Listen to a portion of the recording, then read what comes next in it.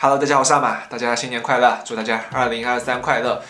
呃，今天想跟大家聊一下阴阳师新公布的联动情报，呃，闲聊而已，没有任何分析预测性质的内容，你就听着玩吧。就在前几天，没有一点点防备，阴阳师突然公布了雾山五行的联动啊，这里让我感觉有一点惊喜。为什么会惊喜？我稍后再讲。先向大家介绍一下雾山五行吧。这是一部在 B 站上独播的呃国漫动画作品。大概讲的是，在一个人妖共存的世界观里，有一帮奇异人士会用阴阳五行之术对抗妖兽啊。这个世界观和阴阳师还是比较贴近的。但是因为目前上线的内容只有三集，剧情量非常非常短啊，整体的作品质量怎样？说实话我还看不出来。根据目前已经可以看到的内容，我个人感觉啊，它的那种战斗氛围有点像《鬼灭之刃》里。柱和上弦之间的战斗，首先主角非常非常强，主角的战斗力和作品中其他习武人士完全不在一个次元。就好比说，柱和上弦对战的时候，普通鬼杀队员是完全插不了手的。虽然主角很强，但同时对手也非常非常强，战斗氛围是非常残酷的，动不动就会血肉横飞。这一点也和柱非常像，对不对？当然，我说的仅仅是战斗氛围上，你要说画面，说工业水平，那一部网络动画恐怕还是难以达到飞碟社那种经费在燃烧的感觉的。但是雾山五行的画面也有它的独到之处。首先，它的背景采用的是非常地道的水墨画风啊，看上去有点像以前上海美术电影制片厂那种经典国漫的感觉了。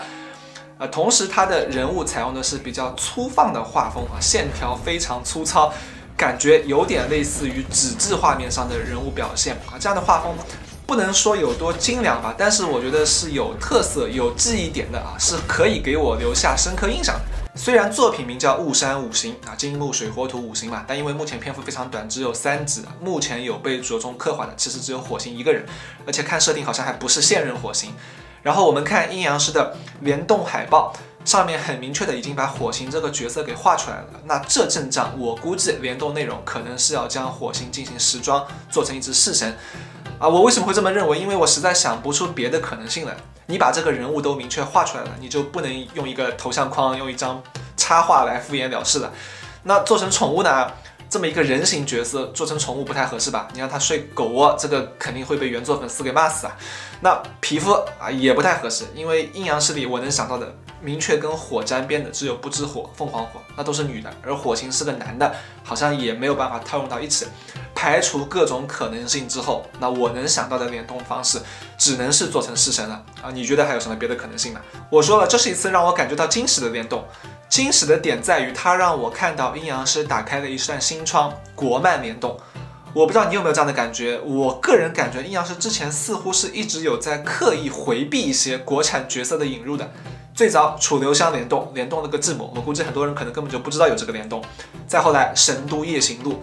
多好的题材啊！九吞慈母都去洛阳了，但是没有任何中国妖怪来到平安京，这怎么说呢？就礼尚往来，懂不懂啊？他们派来的小野妹子，我们应该派个裴世清过去，这才是天朝风范啊，并没有啊。然后是我个人超级喜欢的网易 IP《梦幻西游》，《梦幻西游》3D 版出了预早前，那阴阳师出了什么？出了超级泡泡，超级泡泡。我觉得很多零零后根本就不认识超级泡泡吧？这这不合理啊！梦幻西游出了玉藻前，那阴阳师不出齐天大圣也可以出个牛魔王、大大王、二大王、三大王什么的吧？啊，并没有啊。之后啊，黑潮之上、永劫无间这些我都不想去展开说了。这里哪怕不是故意要回避，至少说明他们之前对那些角色没什么兴趣。而这次公布的雾山五行联动，说明他们开始对那些不那么和风的元素也有兴趣了。那就是一片海阔天空啊！有第一次就能有第二次，之后再联动什么国漫 IP 就都不奇怪了。那你要知道。国漫可是一座神怪题材作品的宝库啊，涉及到法术、涉及到妖怪的作品实在太多太多了。那阴阳师的联动内容、联动形式，可能从此就会变得丰富起来啊，至少我个人是这么希望的。好吧，这就是今天想跟大家闲聊的话题了啊！喜欢我视频的，不要忘了一键三连，感谢大家的观看，我们下期再会，拜拜。